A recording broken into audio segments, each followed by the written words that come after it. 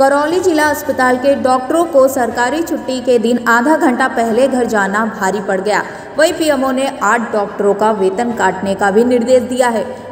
आपको बता दें कि मरीज़ और उनके परिजनों द्वारा लगातार मेडिकल स्टाफ के समय से पहले घर जाने की शिकायतें मिल रही थी। इसको लेकर अस्पताल प्रबंधन ने टीम गठित की थी।